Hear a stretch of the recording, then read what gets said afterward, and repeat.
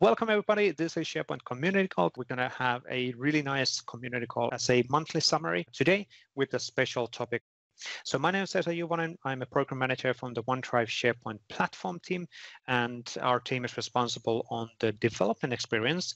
But typically in these monthly community calls, it's not necessarily all about development. We might touch development topics, but it's really around more and more around the features and capabilities as well. Um, so we're kind of trans transforming the monthly community calls away from the deep dive development extensibility to more on understanding what's, what's possible. Like today, we're, we're kind of concentrate today on the Microsoft Search UX now, quick recap uh, on our community. We have multiple different community calls. We have SharePoint Framework community call. We have an M365 General Dev Special Interest Group community calls as well. And we have monthly community calls for SharePoint. On top of this, we have plenty of other calls as well. And we'll come to those slightly later actually on the slides as well. But the whole point of having this many calls means that you can target you based on your interest, those calls which are interesting for you. And then at the same time, there's a lot of content available which you can access from the recordings. So it doesn't mean that you need to join all of these calls. You can always have a look on the recording afterwards as well. So that's one way of handling uh, the situation.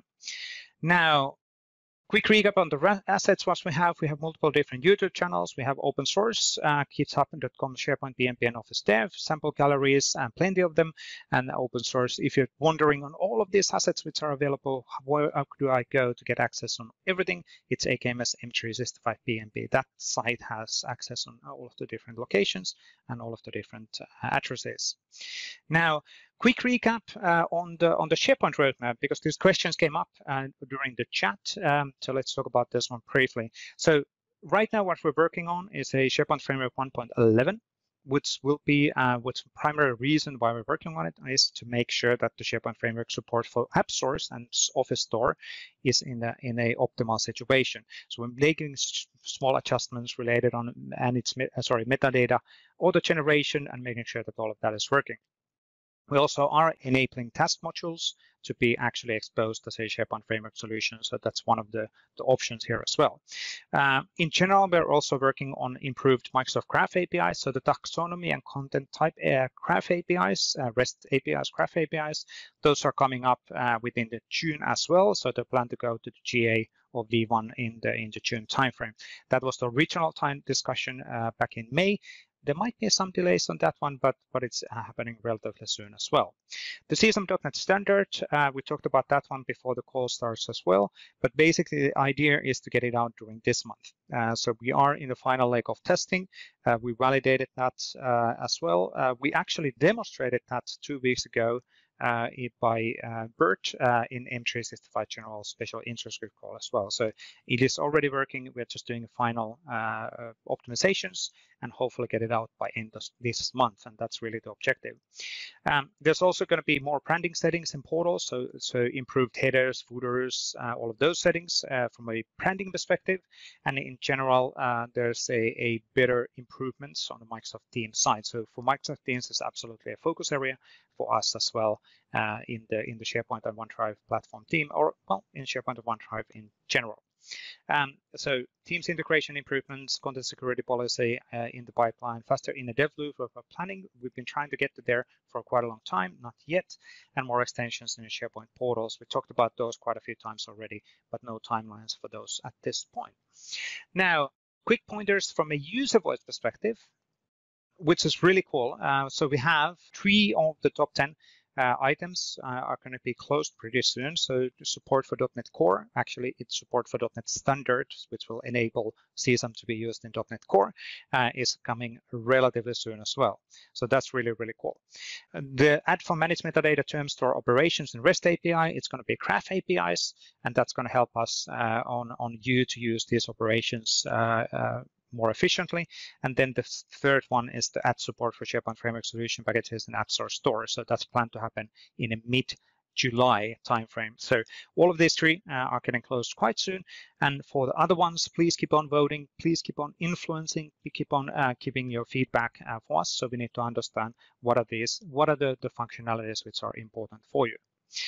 Now, uh, related on uh, the community work and related on the open source initiatives and work what we're doing here, uh, please, uh, if you don't feel comfortable and don't feel bad about it, uh, all of this GitHub and contributing in open source, editing documents or submitting uh, changes on the on the GitHub document, not well official docs, might be confusing and might be scary. And that's why we have this AKMS sharing is caring initiative driven by or led by David Warner and then Hugo Bernier and, and they actually have, uh, well, not one-to-one, -one, but live sessions, instructor-led uh, sessions where they help you to actually get started on contributing in open source, understanding what is a GitHub, and understanding how to contribute on the dev, uh, dev docs or the documentation modifications in general, not just DevDocs in general, because that the, the system is exactly the same across Microsoft.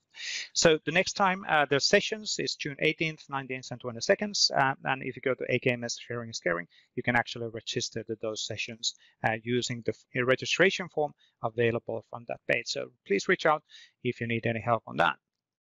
Now, one of the things what I wanted to also promote is our PnP Weekly. We had released the latest PnP Weekly today, where we talk about uh, the latest news from Microsoft 365 level, not just the dev stuff, but also in other areas as well. And then typically we have some sort of a topic or visitors and MVPs, community members in those calls. And today we released a, a uh, PnP Weekly episode 86, uh, where we have, uh, together with me and Waldek, we had David Warner and then Paolo Pialorsi as the visitors because we wanted to address a common question what people keep on asking is that, well, how do you make, how do you work so much or how do you make that, that many things happening and what is the secret of these people being active in the community? What are they gaining out of being active on the community? Um, and obviously, we could have had quite a few others uh, active MVPs in this channel as well, but um, David and, and Paolo are sharing their perspective on this thinking as well. So why are they sharing and what's what are they gaining out of uh, doing that as well? Now, uh, the June version uh, of the community update uh, went live 30 minutes ago or 60 minutes ago uh, uh, at AKMS M365 PnP, well, or actually in the blog posts. Um, and in there, we kind of call out all of the contributors, we call out all of the companies who have helped us, and I just realized that it, there's a one logo missing from that slide, which is updated on the upcoming slide. So, uh, so basically, a lot of people, a lot of companies, again, helping us on a monthly to monthly basis. So thank you for being part of this uh, journey and helping others in the community to succeed as well. Uh, we know that people are uh, looking into your companies also because your company allows you your employees uh, to contribute and being active in the open source side so that's a really great benefit for well it's a win-win for everybody when we do this together uh, from a uh, individual user perspective, and these are all of the users who contributed in our open source initiatives and projects within the last month, so within a, a May timeframe. Um, and I needed to reduce the font size again, and I needed to really make it uh, full size on the on the slide. So number of people contributing is is all the time growing. So thank you for being here and being active, and thank you for helping others uh, in the community uh, because that's what we want to do. We want to make sure that others can uh, can benefit from our knowledge, and then they can help us when we have hard time or trying to figure out what what how to make X and Y and Z happen. And that's how it comes to be a win-win, and everybody wins from the round of thinking.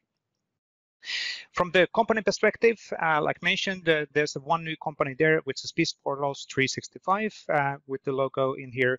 If you are one of the contributors uh, and your company is not here, we need to have your logo shared with us with the permissions of using that logo. So we're not allowed to actually use your company logo unless there's an explicit email or a message where you explicitly give us the permissions to do that. And that's a kind of a legal requirement on here. And that's why we have a subset of all of the companies which are mentioned in the user side on the other side as well. Now, uh, from Microsoft side, plenty of people as well. Um, and the one thing what I wanted to call out here, even Dan Holme, who's our director of marketing, one of the directors of in our marketing side, was contributing in the documentation updates pretty recently. So thank you. But thank you everybody from Microsoft side being active on this side as well. Now, I think uh, it is time, and we're not too much badly uh, behind of the schedule because I was rushing, and I do apologize on that one.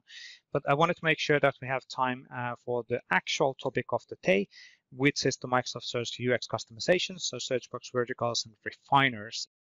I think it's Jyoti uh, who's going to start, unless I'm completely mistaken. Jyoti, take it away. Thank you. So hi everyone, uh, really great to be talking to you guys. Um, so today the plan was we talk through the uh, Microsoft Search user experience. We are essentially talking about uh, uh, you know the customization that we are doing for Microsoft Search result page.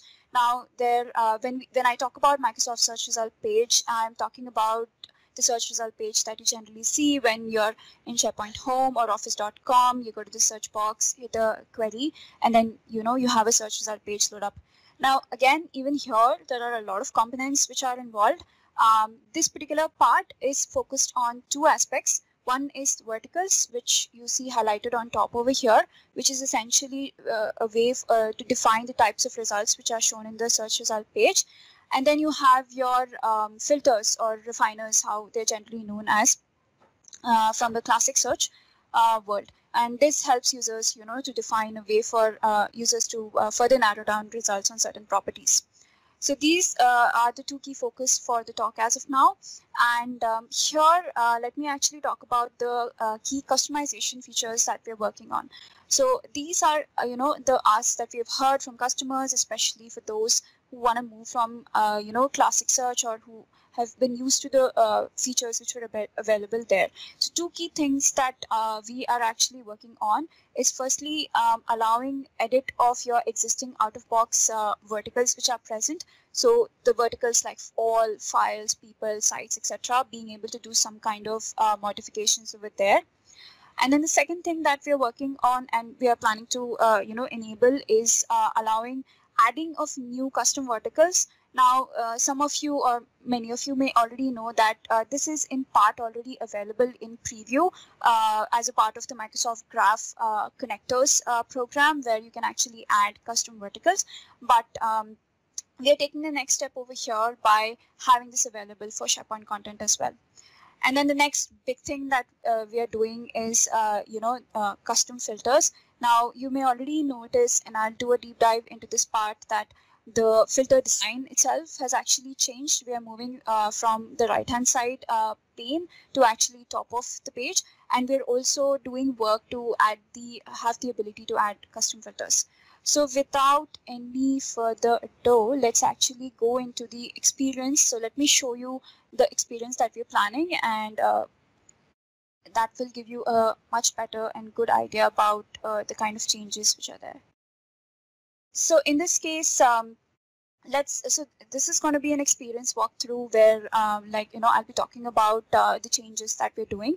So imagine that you are uh, some a user who is on SharePoint home and uh, who starts off with uh, writing a query on your um, uh, on your search box and you're looking for something like a Contoso field research spec you hit enter um, as soon as you hit enter now, this is sort of uh, the uh, experience that you will see. Now, immediately off the bat, you might notice that there are a couple of changes right here on the top.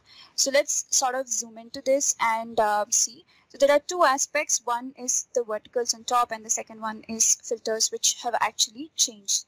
So let's further actually look into what the changes are. So first, I'll be focusing on the top part which is the verticals. Now, the kind of uh, features that we're enabling is, firstly, you may notice here that you don't actually see the sites vertical. So this is one feedback that we've heard that, you know, in some cases, there are certain verticals which are perhaps maybe uh, not needed for your organization or um, you know, for a specific uh, maybe site as well.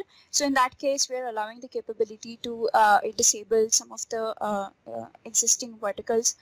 The other uh, thing that you might notice over here is this vertical called as SharePoint News, which is generally actually the news vertical. So uh, there is also the capability to rename the news to rename some of these existing verticals to you know fit the need of your organization.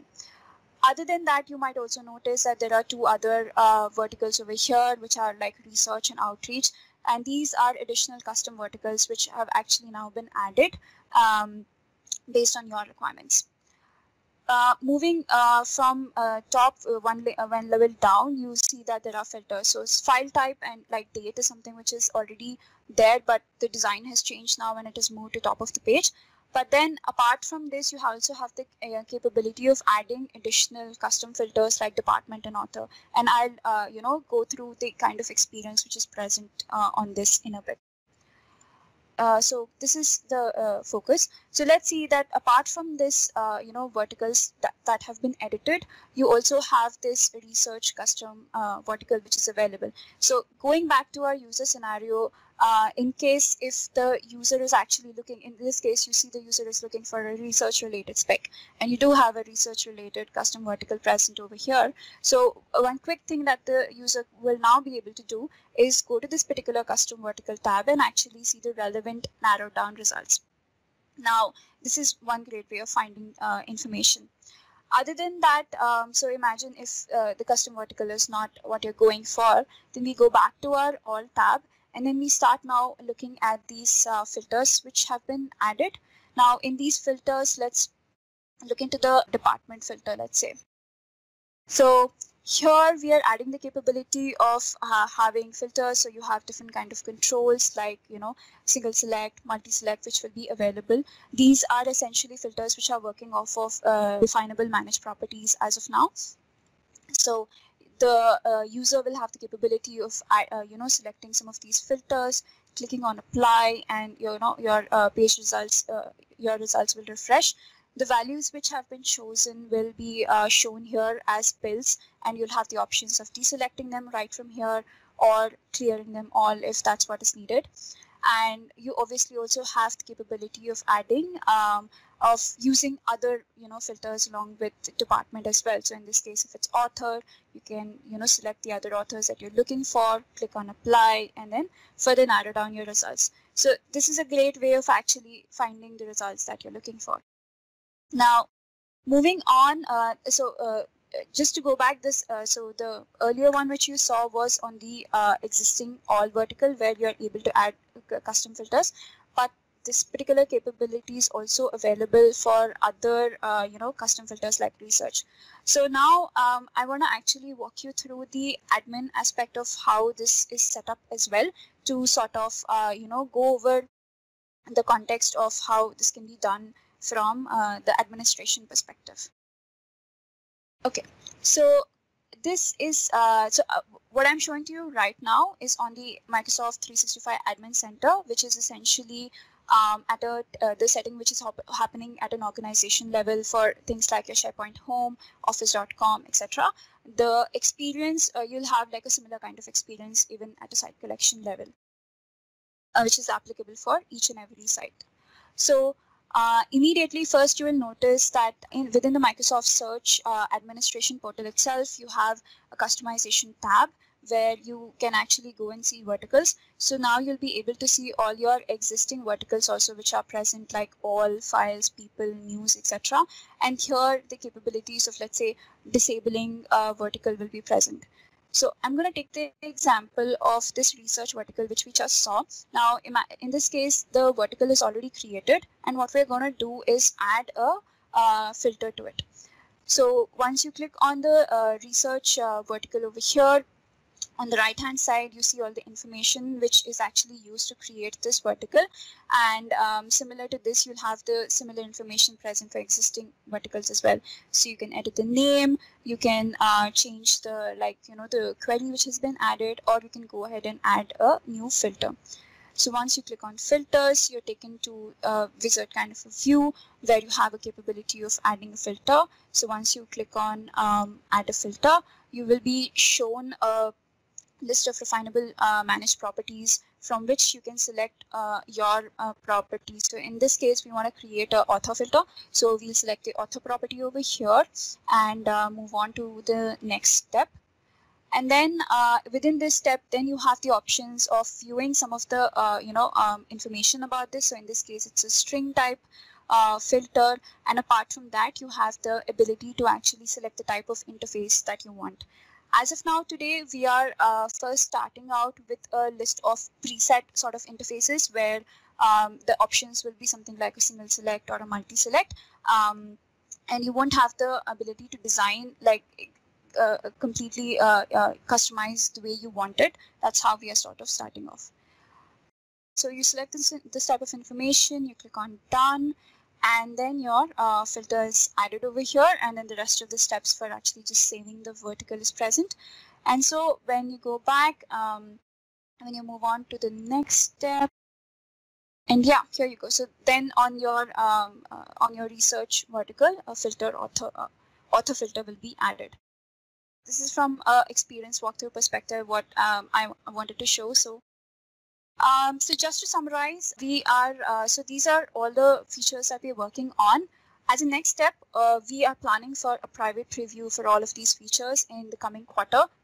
So you have things like uh, ability to uh, have custom filters and existing verticals on custom verticals for SharePoint, uh, editing existing verticals or adding, uh, you know, custom verticals for SharePoint content. All of these um, experiences that I just spoke about, this will be a part of the private preview. They will be available on both tenant and uh, Sitescope. There are also other things that we're continuing to work on, which is at a high level, you know, result type uh, support for SharePoint content and custom verticals so that you can design your own uh, layout and also custom filter support for uh, connector content. So these will also be coming up uh, soon. And um, lastly, the main call of action that I have from this audience is uh, to actually uh, you know, um, uh, sign up for the private preview. So we are opening up the registrations for the private preview as well. So we have the link over here. I'll paste uh, the link in the chat as well. What we would love to, uh, you know, have is uh, folks sign up for the private preview so that we can actually take it, this to you, see uh, how well it works for your scenarios and get good feedback from all of you. So yeah, this was the content from my end. Excellent. Thank you, Jyoti. We will add the link on the uh, notes and in the recording and in the YouTube video. If you're watching this on YouTube tomorrow or later after this recording, uh, um, there will be a reference back on the blog post where all of these links are, so you can actually get access on that. Uh, get Kerem to say hi. I'm sharing my screen. Can you guys oh, hear me? Yes, now we can hear you. Excellent. Amazing. And now we're getting you, Kerem, on, on your uh, extensibility story. I wanted to uh, talk to you briefly about the search box changes that are coming as part of Microsoft Search in OneDrive and SharePoint. Uh, my name is Kerem Yüceturk. I'm a program manager with the OneDrive and SharePoint team, and I look after mostly the integration with Microsoft Search. And here are some of the things that you can look forward to. Over the next quarter, um, we are hoping to introduce a scoping control into the search box. And uh, this will help you see uh, the context of where you're going to be searching uh, easier and then switch this context as necessary uh, uh, if needed. So um, this will be available in OneDrive for Business. So you will show up like this, as you see on the on the left, where you know you'll be able to kind of scope searches to current folder or only My Drive or it can be like the all files in the organization. And then there's the whole organization affordance, which lets you jump out into the Enterprise Search Center um, in the um, SharePoint start page um, to kind of search across all types of files, not just files, but also list items, pages, sites, etc. Um, whatever uh, occurs uh, in uh, in the Enterprise Search Center, and of course the connector uh, information uh, that is also becoming uh, added as uh, custom verticals as well. So that's kind of uh, uh, giving users a better sense of where they're searching. So this is a big change for OneDrive for Business because today there's only one way to search in OneDrive for Business, and that's like a, a hybrid model of um, the files I recently worked on or files shared with me plus the things in my OneDrive for Business. And this will kind of provide a little more clarity, hopefully, for those different scopes and, and provide uh, the, the folder scoping, which is kind of important. Um, the other thing we're excited about for OneDrive for Business is the shared libraries that appear in OneDrive for Business. You couldn't search in those. Um, and with this affordance, you, you'll also be able to use the current folder affordance to go and search for things um, in those areas. And the scoping control is also coming to uh, the search boxes in SharePoint. So if you're in a library or if you're in the site, um, you'll be able to scope things to the current site, to all sites in the hub if a site is connected or associated with a hub. And again, the same whole organization concept is here, where you'll be able to uh, jump to the same place. So it's kind of this universal universality of uh, Microsoft Search. Wherever you start from, there's a contextual thing, and then there's the ability to jump to the whole organization uh, as needed. And similarly, current folder, current library will work in a library or a list. Um, and then you'll be able to jump to the site, the hub, and the whole organization again uh, using the scoping control there. So some things to call out. This uh, kind of works for scoping wider and not uh, narrower uh, or lower. So you can go from site to hub to whole organization, but you can't, once you're in the hub, you can't really drill down into a site because you don't have a way of selecting that site. Hopefully that's obvious. We have a setting called search scope, which we will I will uh, remind everybody about in uh, two slides over. That allows you to say, hey, I want uh, my site to start searching at the hub level or at the whole organization level. And if any of these settings are set, then you'll see only those options here. So if you set it to hub, for example, for a site that is associated with the hub, you'll only see the all sites in hub and whole organization scopes. You won't see the current site scope. And then if you set it to whole organization, again, uh, whole organization will be the scope and you won't see the scoping control since you can't change it further down.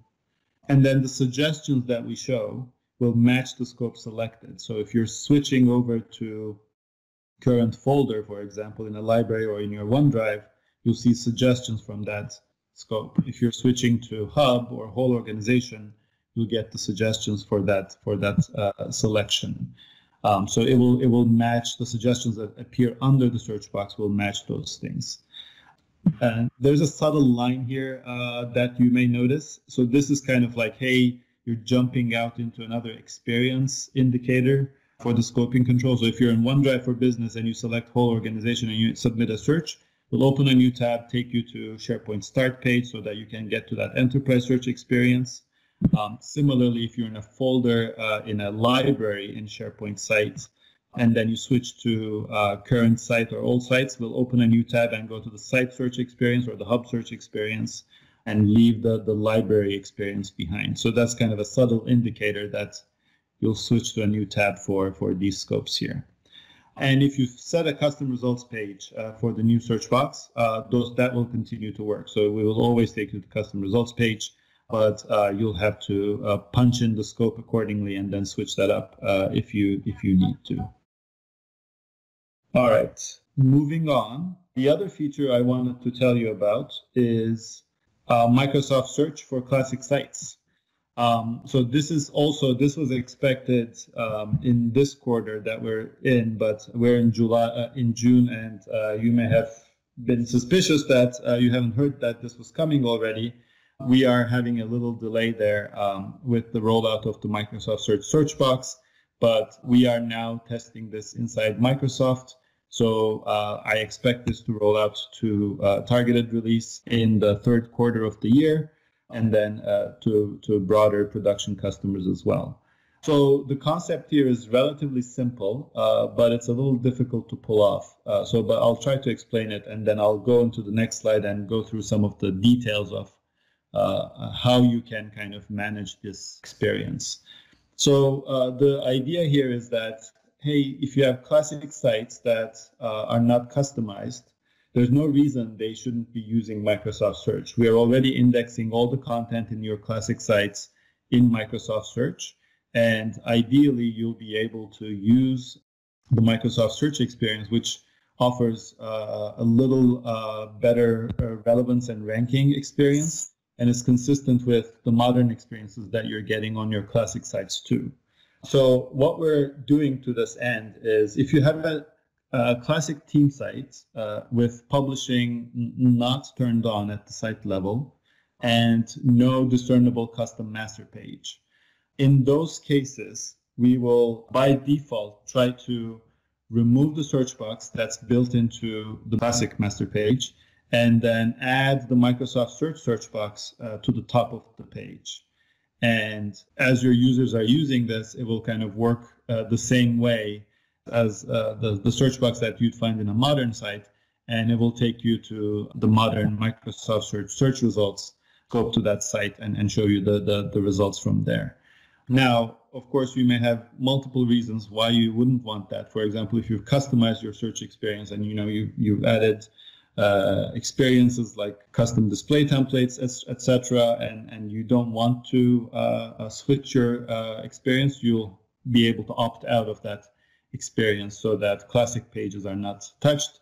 or of course uh, showing the using the the um, the concepts that Jyoti presented earlier, you would be able to also implement some of those customizations in modern and and start using those as well. So there's a there's you know a, a bit of a, a, optionality there. We are not going to try to automatically upgrade um, um, sites that uh, have publishing turned on at the site level or have a, a custom uh, master page with a, with a different name than seattle.master or a um, uh, oslo.master. And uh, we will not attempt to uh, upgrade those since they may have other customizations in there that, that we don't want to break uh, with the custom master pages. In those cases, uh, everything will continue to work, but you'll be able to opt in if you still want the Microsoft Search experience there using our search box in navbar setting. So how would that work? Let me quickly go over that and then I'll try to take any questions if we get time or I can follow up with questions uh, later. So uh, as you know, uh, we have two uh, web and site collection level settings uh, that is that is available now actually. So this is available for use that you can set these settings today. Uh, the first one is the search scope, uh, web.search scope setting. Um, this is also available through several helpers um, in the uh, PowerShell, but this is the one that allows you to set the default scope to be at the site level, uh, at the hub level, or the whole organization level for a given SharePoint site. So this continues to work. Uh, there isn't much uh, change here. it kind of has a bearing on the scoping control that we, we just covered earlier. The second one has more bearing on the uh, the upgrade behavior that we're going to get for classic pages, and that's the web.searchbox in navbar as well as the sites.searchbox in navbar. So this is the site collection setting, and this is the the the the, uh, the site setting, the web SP web setting, and this will override uh, the broader thing if this is set to default or, or if this is set to default, you can override it using the site collection level. But if the site has set something, uh, one of these settings, and the web can override that by setting one of these uh, settings explicitly as well. So it kind of gives you a bit of flexibility in, in how to combine those two, the site collection level and uh, the site level. So zero is the default setting, and this is the behavior that I was telling you about where um, we will try to upgrade the team sites that don't have the publishing feature turned on or don't use a custom master page. And the search box will just move to the top, uh, will be removed from the page, and then you're starting to use um, the setting there. Um, and any sites that have the pu- site publishing feature turned on or have a custom master page, they do not uh, have they do not see any change basically. Option number one is all pages, including classic pages. And this is basically an opt-in, uh, if you will, for those sites that didn't get to upgrade. And uh, this will help you to, to move to that model uh, of having all pages always try to use the search box in the nav bar, even if they're classic and even if you know some of these features are turned on. And uh, it will kind of be an opt-in into the modern experience for those cases.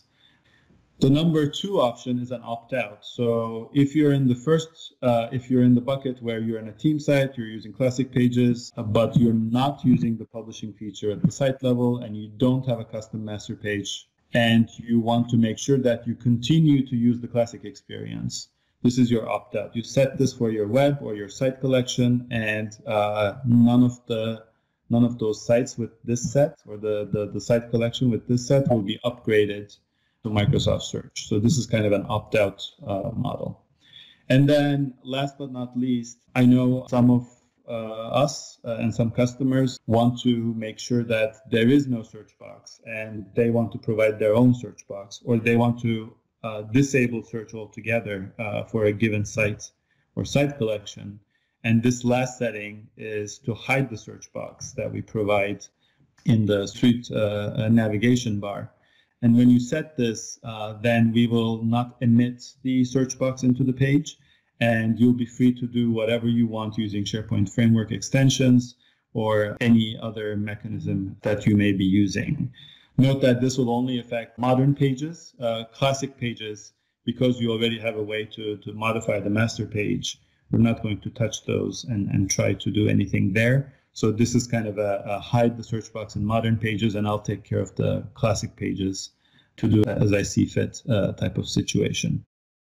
All right, so that's kind of what I wanted to cover. And I think we have zero time for questions, but pretty um, much, I'll... pretty much. The only question, Kerem, was that uh, the kind of a thing which came from Franck Cornu and a few others is the extensibility story. Um, yes. the, are the, the new controls are they web parts or are they something which can be connected to other web parts as well? Uh, if URT or somebody can actually answer on that. So are they, if they're web parts, then they have web part connections, and then people can extend the experience through, through that model. Do you mean in the refiners and and? Um... Yeah. Yes. Yes.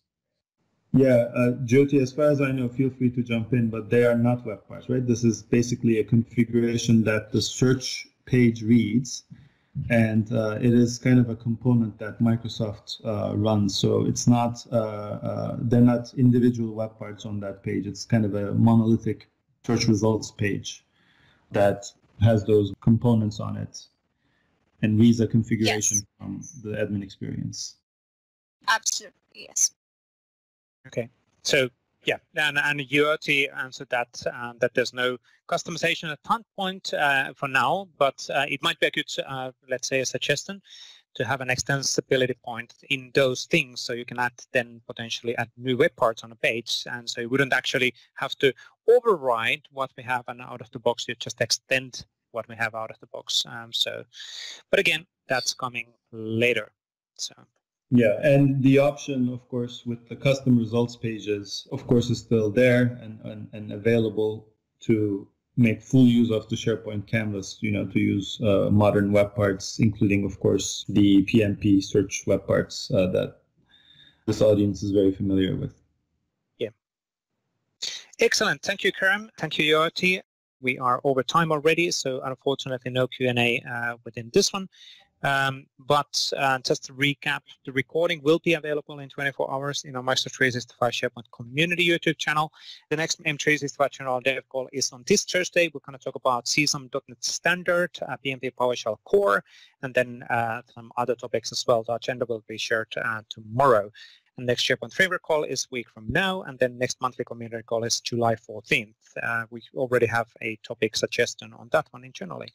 Uh, in general, we know that we have a lot of community calls. Um, reach out uh, or join on those, which are the most interesting ones. But that's it from our side. So thank you very much, and have a great Tuesday. We'll try to follow up on all of the questions in the chat uh, slightly later on as well, if there's anything which we didn't answer. Um, and thank you for the presenters, and uh, thank you for all of the feedback from everybody who is joining the call as well. Thank you, thank you. Bye-bye. We'll be back. Thank you. Bye, everyone.